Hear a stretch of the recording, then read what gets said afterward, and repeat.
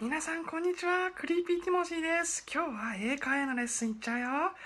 よく聞かれるのが right right と light の発音の違いなんですけどこちらは聞いてもわかる通り最初の2つの right は発音の違いはないんですね。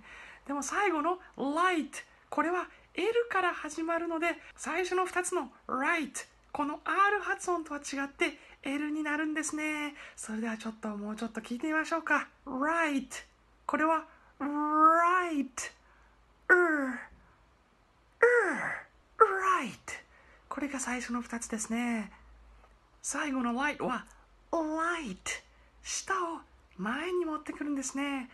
light light わかるかな？最初の2つは right 下出てないでしょ？最後は light 出てるよね。この違いです。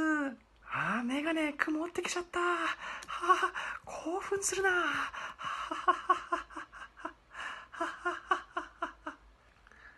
でも R の発音うまくできないよっていう人は僕最近アルバムを出したのね。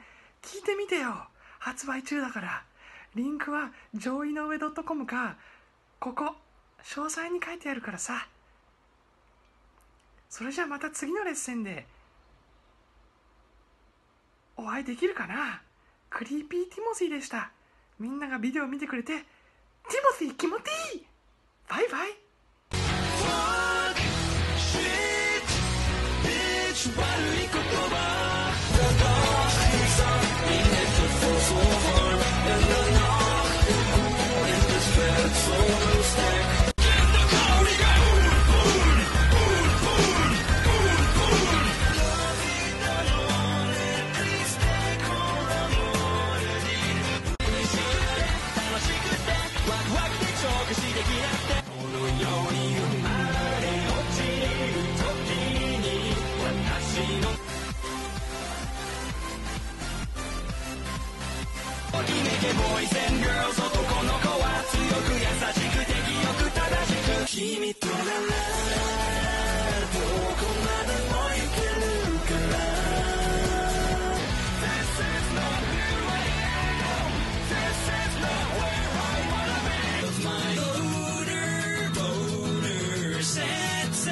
pathetic life.